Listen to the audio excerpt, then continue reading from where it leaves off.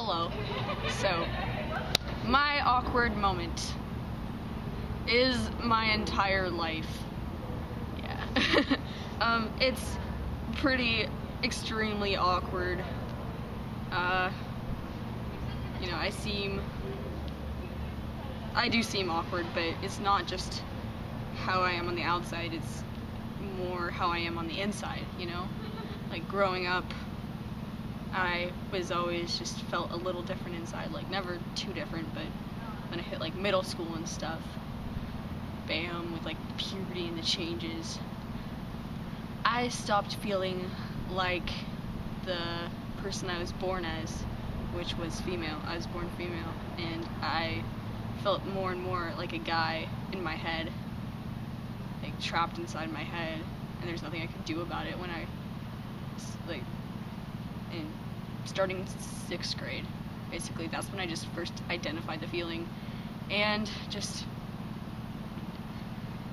it's it's really hard just to come to terms that your mind and your body are completely separate, and there's nothing you can uh, do about it at the moment, and it's not something people usually talk about.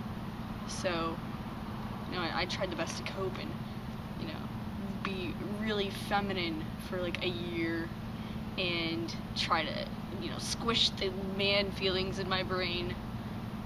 But that that did not work obviously.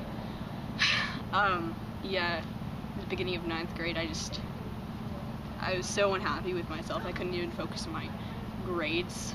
And just it, it was such a problem.